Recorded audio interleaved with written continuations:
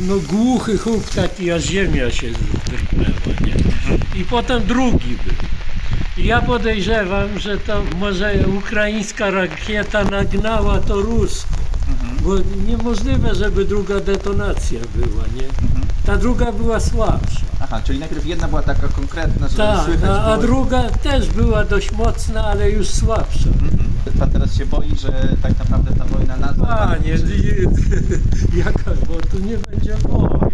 Aha, czyli na razie spokój, po prostu to, co się wczoraj Nie, działo, no to... tak, no to jakiś wypadek z Ukrainy po prostu.